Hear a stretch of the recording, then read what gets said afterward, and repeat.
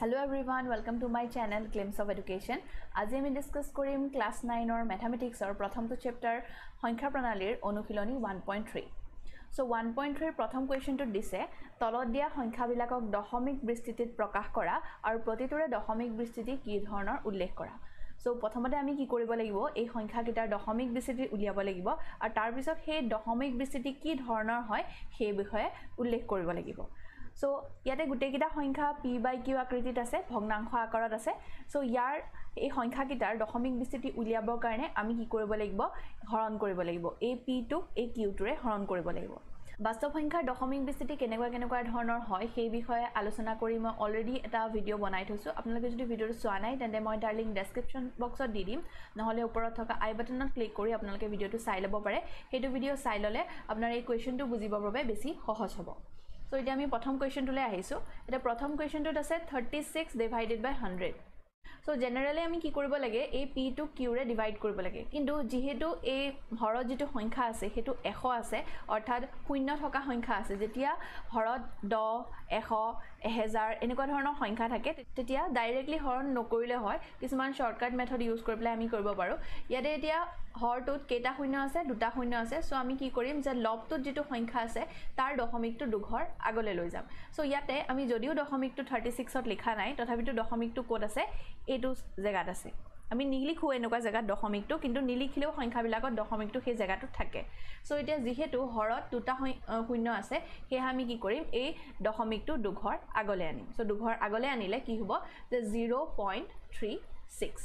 So' দশমিকৰ আগত আমি zero এটা দিব পাৰোঁ। নিদিলেও কথা নাই। দিলেও শুদ্ধ হ'ব আৰু নিদিলেও শুদ্ধ হ'ব। চ' ইয়াতে আমি thirty six divided by hundred এইটোৰ দশমিক বিস্তৃতি কি পালোঁ? Zero' point three six so' ইয়াতে আমি দেখিছোঁ যে থ্ৰী ছিক্স ইয়াতে দশমিক বিস্তৃতিটো শেষ হৈ গৈছে। অৰ্থাৎ এই সংখ্যাটোৰ দশমিক বিস্তৃতিটো কি ধৰণৰ? পৰিসমাপ্ত ধৰণৰ। চ' দশমিক বিস্তৃতি ইয়াত কি হ'ব? পৰিসমাপ্ত। নাম্বাৰ টুটোত দিছে ওৱান বাই ইলেভেন এতিয়া আমি একক ইলেভেনেৰে হৰণ কৰিব লাগিব। চ' এতিয়া আমি দেখিছোঁ যে যিটো সংখ্যা আমি হৰণ কৰিবলৈ লৈছোঁ সেইটো যিটো সংখ্যাৰে হৰণ কৰিবলৈ লৈছোঁ সেইটোতকৈ সৰু হয়। চ' এঘাৰক আমি এবাৰ দিলেও একতকৈ ডাঙৰেই হ'ব। সেয়েহে আমি ইয়াত কি কৰিব লাগিব? এটা পইণ্ট দিব লাগিব। চ' পইণ্ট দিলে অৰ্থাৎ দশমিক দিয়াৰ লগে লগে কি হ'ব ইয়াত এটা আমি শূন্য বহুৱাব পাৰিম। চ' এতিয়া আমি যদি এগুণো দিওঁ এঘাৰ এগুণো এঘাৰই হ'ব আৰু এই দহটো কি হয় এঘাৰতকৈ সৰু হয়। চ' আমি ইয়াত এগুণো দিব নোৱাৰিম।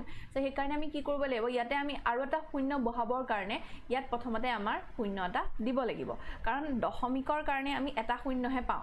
আৰু এটা শূন্য দিবৰ কাৰণে আমাক ইয়াত আকৌ এটা শূন্য দিব লাগিব। চ' এই শূন্যটোৰ কাৰণে আমি ইয়াত কি বহাব পাৰিম ইয়াত এটা শূন্য বহাব পাৰিম। এতিয়া যদি আমি ইয়াত ন গুণ দিওঁ চ' এঘাৰ ন গুণ নিৰান্নব্বৈ। চ' আমি ইয়াত কিমান পালোঁ আকৌ ভাগশেষ এক পালোঁ। চ' তেনেকৈ এই দশমিকটো অলৰেডি আমি দি থৈছোঁ চ' সেই দশমিকটোৰ কাৰণে আমি কি পাম? এটা ইয়াত শূন্য দিব পাৰিম। কিন্তু দহ দিলে নহ'ব কাৰণ দহক আমি এঘাৰে হৰণ কৰিব নোৱাৰোঁ। সেইকাৰণে ইয়াত আকৌ এটা আমি শূন্য দিব লাগিব। শূন্য এই শূন্যটো দিয়াৰ কাৰণে কি হ'ব? ইয়াত এটা আমি শূন্য বহাব পাৰিম। নেক্সট আকৌ আমি ন গুণ দিব পাৰিম। চ' এইটো হ'ব নিৰান্নব্বৈ। চ' ইয়াত আমি ভাগশেষ কিমান পালোঁ? এক। আগৰ দৰে আকৌ এই দশমিকটোৰ কাৰণে আমি শূন্য এটা আহিব আৰু আৰু এটা শূন্য দিবৰ কাৰণে ইয়াত আমি আৰু এটা শূন্য দিব লাগিব। চ' ইয়াত হ'ল শূন্য। চ' আকৌ আমি নবাৰ দিব পাৰিম। চ' নিৰান্নব্বৈ। তেনেদৰে আমি দেখিছোঁ যে প্ৰতিটো ক্ষেত্ৰতে এক এক ভাগশেষ থাকি গৈছে। চ' ইয়াৰ কোনো শেষ নাথাকিব। আমি যিমানবাৰ এইটো লিখি যাওঁ ইয়াত ইয়াত যিমানবাৰ দি যাওঁ ইয়াতো ভাগশেষ আকৌ আহি গৈয়ে থাকিব। চ' ইয়াত আমি কি লিখিব পাৰোঁ? ওৱান বাই ইলেভেন মানে আমি কি পালোঁ? যে ইয়াত দশমিকৰ আগত আমি শূন্য এটা বহুৱাই ল'ব পাৰোঁ এই ইয়াত বহুৱাৰ দৰে। নবহালেও কথা নাই। Zero' point zero' nine zero' nine zero' nine এনেদৰে সংখ্যাবিলাক আহি গৈ থাকিব। আৰু আমি আগৰ ভিডিঅ'টোত অলৰেডি ডিছকাছ কৰিছোঁ যে এনেকুৱা ধৰণৰ দশমিক বিস্তৃতিক আমি কি বুলি কওঁ? অবিৰত পুনৰাবৃত্ত বা নিৰৱধি পুনৰাবৃত্ত বা পৌনপনী। আৰু এইবিলাকক আমি কেনেকুৱা ধৰণে লিখিব পাৰোঁ যে যিবিলাক সংখ্যা বাৰে বাৰে আহি আছে অৰ্থাৎ যিবিলাক সংখ্যা ৰিপিট হৈ আছে সেইবিলাক সংখ্যাত আমি কি কৰিব পাৰোঁ? এডাল বাৰ দি পেলাই আমি এইটো সৰুকৈ লিখিব পাৰোঁ। এতিয়া জিৰ' নাইন জিৰ' নাইন প্ৰত্যেকবাৰে আহি আছে চ' আমি জিৰ' নাইনৰ ওপৰত এডাল বাৰ দিব পাৰোঁ। চ' এতিয়া আমি দেখিছোঁ যে প্ৰত্যেকবাৰতে ছেইম ছেইম সংখ্যা একে একে সংখ্যা আহি আছে। চ' এই সংখ্যাটোৰ দশমিক বিস্তৃতি কি ধৰণৰ হ'ব? নিৰৱধি পুনৰাবৃত্তীয়।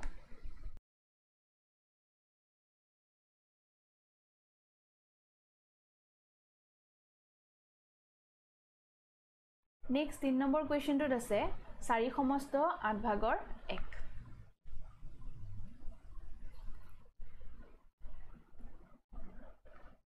চ' ইয়াক আমি কেনেধৰণে লিখিব পাৰোঁ যে আঠ চাৰি গুণ বত্ৰিছ আৰু তাৰ লগত এক যোগ কৰিলে কিমান হ'ব? তেত্ৰিছ। Thirty three divided by eight এতিয়া আমি থাৰ্টি থ্ৰীক এইটেৰে ডিভাইড কৰিম। চ' আঠ চাৰি গুণ বত্ৰিছ চ' তিনিৰ পৰা দুই গ'ল এক। চ' ইয়াত আমি ভাগ শেষ পালোঁ এক।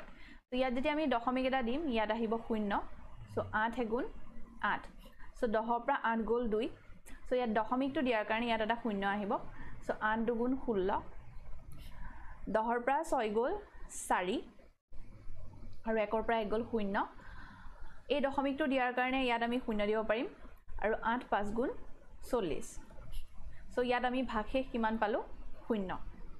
চ' এতিয়া আমি কি গম পালোঁ? যে thirty three divided by eight যিটো আমাক সংখ্যা দিছিলে চাৰি সমস্ত আঠ ভাগৰ এক এইটোক আমি দশমিক বিস্তৃতি হিচাপত লিখিলে কি হ'ব? Four point one two five so' ইয়াত আমি দেখিছোঁ যে কেইটামান নিৰ্দিষ্ট সংখ্যাৰ পিছত ইয়াত দশমিক বিস্তৃতিটো ৰৈ গৈছে। সেইকাৰণে ইয়াত দশমিক বিস্তৃতিটো কি ধৰণৰ হ'ব? পৰিসমাপ্ত ধৰণৰ।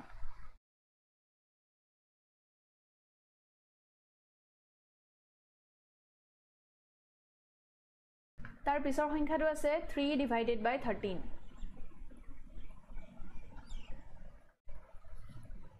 এতিয়া তিনিক আমি তেৰৰে হৰণ কৰিব লাগিব। এতিয়া আমি দেখিছোঁ যে তিনিটো তেৰতকৈ সৰু হয় চ' ইয়াত তেৰক যদি আমি এবাৰো দিওঁ তথাপিতো তিনিতকৈ ডাঙৰেই হৈ থাকিব। সেইকাৰণে আমি ইয়াত কি কৰিম দশমিক এটা দিম। দশমিকটো দিয়াৰ কাৰণে ইয়াত শূন্য এটা আহিব। আমি জানো যে তেৰ দুগুণ ছাব্বিছ। চ' এতিয়া দহৰ পৰা ছয় গ'ল চাৰি আৰু ইয়াত থাকিল দুই দুইৰ পৰা দুই গ'ল শূন্য। চ' এই দশমিকটো দিয়াৰ কাৰণে ইয়াত এটা শূন্য আহিব। আমি জানো যে তেৰ তিনি গুণ ঊনচল্লিছ। চ' ইয়াত ঊনচল্লিছ হ'লে ইয়াত কিমান হ'ব? যে দহৰ পৰা ন গ'ল এক আৰু তিনিৰ পৰা তিনি গ'ল শূন্য। চ' এই দশমিকটো দিয়াৰ কাৰণে আমি ইয়াত কি কৰিব পাৰিম? জিৰ' এটা দিব পাৰিম। জিৰ' দিছোঁ যদিও ইয়াত কিমান হৈ আছে? দহ। আৰু ইয়াত আমি কিহেৰে হৰণ কৰিছোঁ? তেৰ। চ' ইয়াত কি হ'ব যে তেৰক আমি এবাৰ দিলেও দহতকৈ ডাঙৰেই হ'ব। সেইকাৰণে আমি ইয়াত এটা শূন্য দিম যাৰ কাৰণে আমি ইয়াত এটা শূন্য বহুৱাব পাৰিম। এতিয়া যদি আমি তেৰক সাতেৰে পূৰণ কৰোঁ চ' কিমান হ'ব? Ninety one.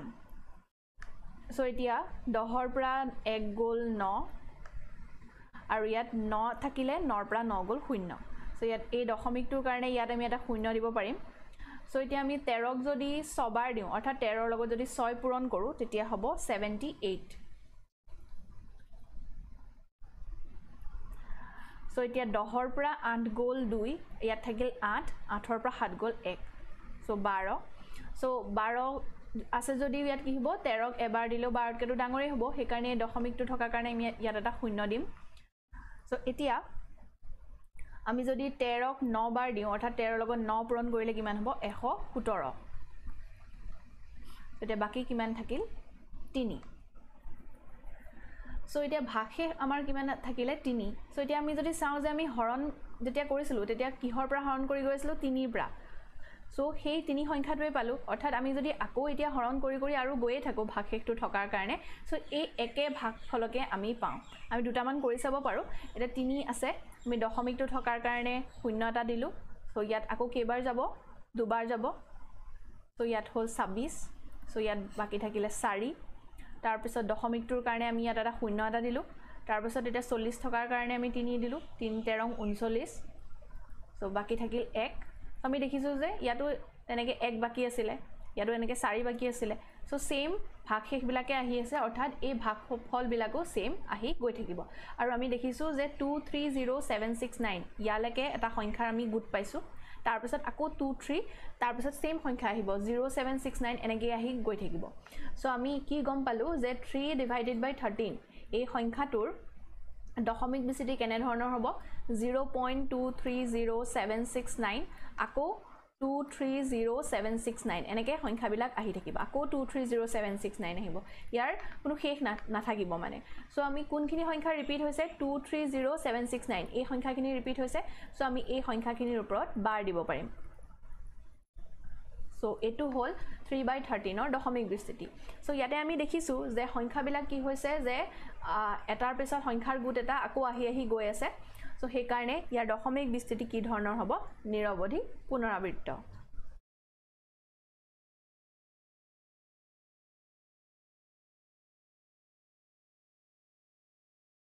তাৰ পিছৰ কুৱেশ্যনটোত আছে টু বাই ইলেভেন চ' এতিয়া আমি দুইক এঘাৰে হৰণ কৰিম। চ' এতিয়া এঘাৰক যদি আমি এবাৰো দিওঁ দুইতকৈ ডাঙৰ হ'ব সেইকাৰণে আমি ইয়াত এটা দশমিক দিম। চ' ইয়াত দশমিকৰ কাৰণে জিৰ' আহিব। এতিয়া আমি যদি এবাৰ দিওঁ ইয়াত কিমান হ'ব? ইলেভেন। চ' বাকী কিমান থাকিব ইয়াত? ন। বিছৰ পৰা এঘাৰ গ'ল ন। চ' এই দশমিকটোৰ কাৰণে ইয়াত এটা শূন্য দিব লাগিব। চ' আঠবাৰ দিলে আমাৰ কিমান হ'ব এইটো? Eighty eight. চ' ইয়াত দহৰ পৰা আঠ গ'ল দুই আৰু আঠৰ পৰা আঠ গ'ল শূন্য। চ' আকৌ দশমিকটো থকাৰ কাৰণে আকৌ জিৰ' আহিব। সেই আগৰ সংখ্যাটোকে পালোঁ আমি। দুই আছিলে আকৌ দুইটোৱে পালোঁ। তাৰপিছত এতিয়া কি হ'ব যে এবাৰ দিলে আমি কিমান পাম? ইলেভেন চ' ইয়াতে বাকী থাকিল ন। চ' ইয়াতো আমি ভাগশেষ ন পাইছিলোঁ। অৰ্থাৎ আমি একেখিনি সংখ্যা এতিয়া পাই গৈ থাকিম। তাৰপিছত এতিয়া দশমিকটো দিয়াৰ কাৰণে জিৰ' আহিলে। আঠবাৰ দিলোঁ এইটি এইট বাকী থাকিল টু টু এনেকৈ ইয়াত আমি প্ৰথমটো টুক ডিভাইড কৰিছিলোঁ তাৰপিছত আকৌ ভাগশেষ টু পালোঁ তাৰপিছত আকৌ ভাগশেষ টু পাইছোঁ।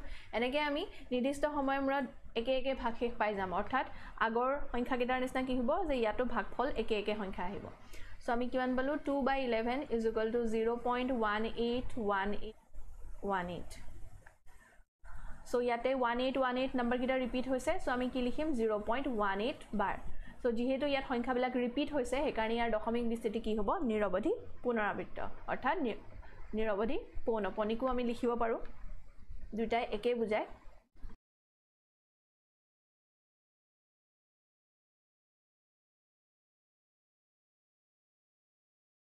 নেক্সট ছয় নম্বৰটোত কি আছে three twenty nine divided by four hundred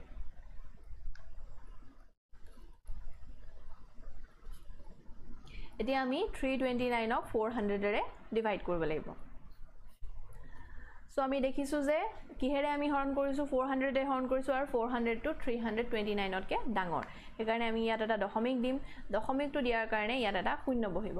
চ' ইয়াত আছে চাৰিশ ইয়াৰো ইয়াত আছে three thousand two hundred ninety so' ইয়াত যদি আমি আঠবাৰ দিওঁ কি হ'ব? আঠ চাৰি গুণ বত্ৰিছ আৰু বাকী দুটা শূন্য আহিব লগত। চ' এইটো বত্ৰিছশ হ'ল। চ' বাকী থাকিল ইয়াত নাইণ্টি চ' এই দশমিকটোৰ কাৰণে ইয়াত এটা শূন্য আহিব। এতিয়া যদি দুগুণ দিওঁ ইয়াত নশ আছে। চাৰিশৰ লগত দুই পূৰণ কৰিলে কিমান হ'ব? আঠশ হ'ব। চ' ইয়াত বাকী থাকিল নশৰ পৰা আঠ আঠশ গ'লে কিমান বাকী থাকিল? এশ। তাৰপিছত এই দশমিকটোৰ কাৰণে শূন্য এটা আহিলে। আকৌ যদি আমি দুবাৰ দিওঁ চাৰিশ ইণ্টু টু মানে কিমান হ'ব? এইট হাণ্ড্ৰেড আঠশ। আৰু ইয়াত বাকী কিমান থাকিল?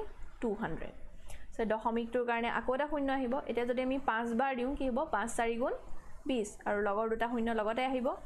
চ' ইয়াত আমাৰ বাকী কিমান থাকিল? শূন্য। চ' এতিয়া ইয়াৰ আমি দশমিক বিস্তৃতি কিমান পালোঁ? Three hundred divide by forty is equal to zero' point eight two two five so' ইয়াত আমি দেখিছোঁ যে নিৰ্দিষ্ট কেইটামান ষ্টেপৰ পিছত কি হৈছে যে দশমিক বিস্তৃতিটো ৰৈ গৈছে। অৰ্থাৎ এই সংখ্যাটোৰ দশমিক বিস্তৃতি কি ধৰণৰ হ'ব? পৰিসমাপ্ত।